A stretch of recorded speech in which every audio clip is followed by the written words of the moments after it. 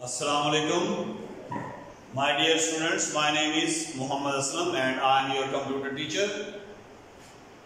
In previous lecture we have discussed problem solving method.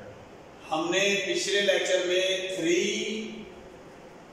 जो points हैं वो discuss किए थे now we are discussing the fourth point that is design algorithm and draw flow chart अब ये बात जहन में रखिए कि जब प्रोग्रामर प्रोग्राम बनाना स्टार्ट करता है तो वो डायरेक्ट प्रोग्राम बनाना स्टार्ट नहीं करता। पहले वो एल्गोरिथम बनाएगा, अब आपको एल्गोरिथम का नहीं पता होगा।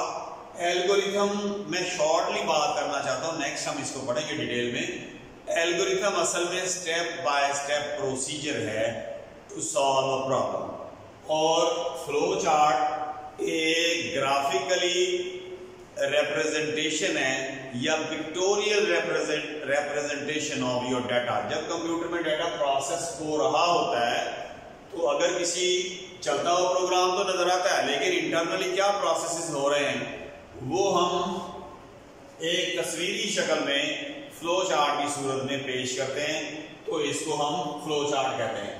तो जैसे अगेन आई रिपीट जैसे हम घर बनाने से पहले या कोई बिल्डिंग बनाने से पहले या कोई गाड़ी बनाने से पहले हम उसका नक्शा बनाते हैं और फिर उस नक्शे को देखकर उस मशीन को या बिल्डिंग को बनाते हैं।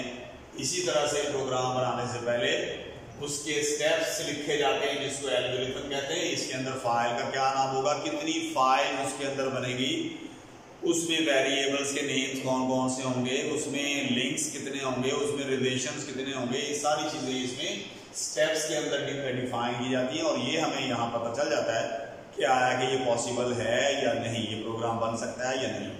और फ्लो चार्ट की मैंने बात कर दी कि show the flow of data कि डाटा किस तरफ़ से आ रहा है और किस तरफ़ को जा रहा है इनपुट्स कहाँ हो रहे हैं आउटपुट कहाँ हो रहा है प्रोसेस कहाँ हो रहा है। Number next one is write the program. Program is also known as the coding. ये MCQ भी आता है कि a program is known as तो नीचे फोर ऑप्शंस होंगे तो you have to circle the coding coding is known as write the program algorithm लिखने के बाद फ्लो चार्ट बनाने के बाद प्रोग्रामर इन फ्लो चार्ट इसको एल्गोरिथम को फ्लो चार्ट को फॉलो करते हुए प्रोग्राम को लिखना शुरू करता है। डेली दो फॉर्म लिखता है प्रोग्रामर टू फॉर्म्स भी कि एक रिकॉर्ड ऐड करने वाले, आपने कभी प्रोग्राम चलता हुआ देखा होगा। उसमें एक रिकॉर्ड जो आई अगेन रिपीट के writing the program is also known as coding, mean writing the program.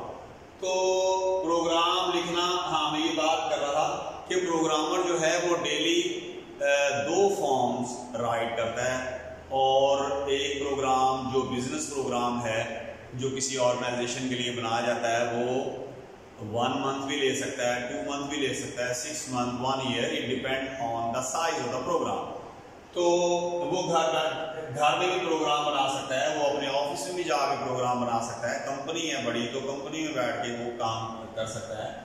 तो इस मरहले में प्रोग्रामर प्रोग्राम लिखता है। नंबर सिक्स और next point is test and debugging the program program को लिखने के बाद प्रोग्रामर उसको चलाता है एग्जीक्यूट करता है और अपनी तरफ़ से डमी डाटा देता है। डमी डाटे का मतलब वो रियल रियल डाटा नहीं होता। मिसाल के तौर पे एक सेल किए तो हम एक डाटा रिकॉर्ड कर रहे हैं जी computer serial number item name उसकी प्राइस उसकी क्वांटिटी इवन के हमने वो सेल नहीं किया।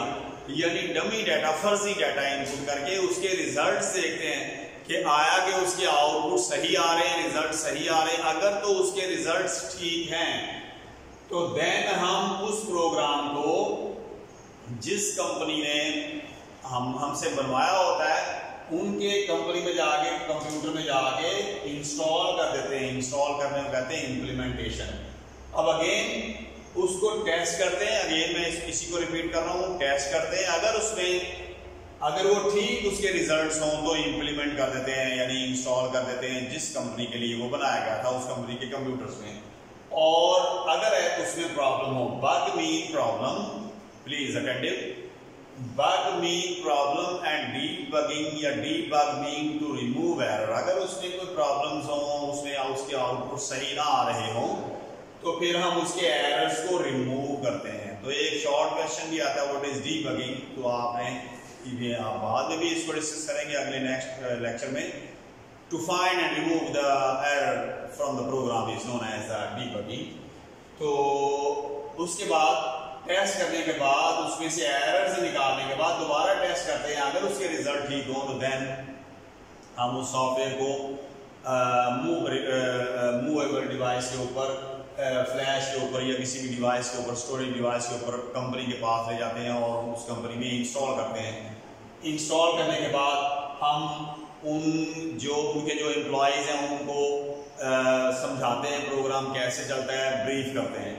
इस सिचुएशन को कहते हैं implementation the program next one is the maintain and update जब प्रोग्राम आप कंपनी यूज़ करना शुरू कर देती है, बाद कंपनी फील करती है कि इसमें कुछ फीचर और भी एक फीचर होना चाहिए। और अगर वो ये फील करें कि इसमें को मजीद चेंजिंग करवानी है तो वो कंपनी जिस कंपनी से या जिस प्रोग्रामर से वो प्रोग्राम बनवाया होता है, उस प्रोग्रामर को कॉल करते दोबारा प्रोग्राम को ठीक करता है। मेंटेन करना, जब कभी कोई उसमें प्रॉब्लम हो तो उसको ठीक करना। और जब कभी उसको, उसमें इजाफा करना हो तो उसको कहते हैं अपडेट करना। इस चीज़ के भी चार्जेस होते हैं। इस चीज़ के भी चार्जेस होते हैं। सो वो फिर वो तय कर प्रोग्रामर जो है वो तय कर लेता है। तो इस हवाले से प्रोग्राम ये सिलसिला चलता रहता है। मंथली एक मंथ में हो सकता है प्रोग्रामर एक विज़िट करता है दो विज़िट कर, करता है या नहीं भी करता तो वो तय कर लेते हैं कि इसके आ, कितने यानी कि अमाउंट तय कर ली जाती है कि एक मंथ में कितने विज़िट होंगे तो आ, वो तय कर लिए जाते हैं। ठीक है जी? नेक्स्ट हम बात कर रहे थे डॉक्यूमेंटेशन डॉक्यूमेंटेशन का प्रोग्राम अब इस सिचुएशन को जेन में रखिए, एक प्रोग्रामर या एक कंपनी ने प्रोग्राम बना के दे दिया सॉफ्टवेयर कंपनी ने बना के दे दिया। अब प्रोग्राम बनाने के बाद, वो साथ एक थीसिस हम उसको कहते हैं एमएससी लेवल के ऊपर या बीएस लेवल के ऊपर जब प्रोग्राम बनाया जाता है तो उसका साथ थीसिस भी लिखते हैं। वो 100 पेजेस का या 150 पेजेस का वो एक thesis depend upon the university जो आप वो रिक्वायर करती है। तो उसको थीसिस कहते हैं। उसके अंदर प्रोग्राम के का नाम, उसकी फाइलों का नाम, उनकी टेबल कितने थे, उसमें फाइलों के नेम वेरिएबल्स के नेम रिलेशनशिप ये सारी चीज़ें लिख के देते हैं ताकि कोई नेक्स्ट प्रोग्रामर अगर उस प्रोग्राम को समझना चाहे तो इस डॉक्यूमेंटेशन से अंडरस्टैंड कर सकता है। मुझे उम्मीद है आपको आज का लेक्चर समझ आया होगा। हमारा चैनल लाजमी सब्सक्राइब कीजिएगा। बहुत शुक्रिया।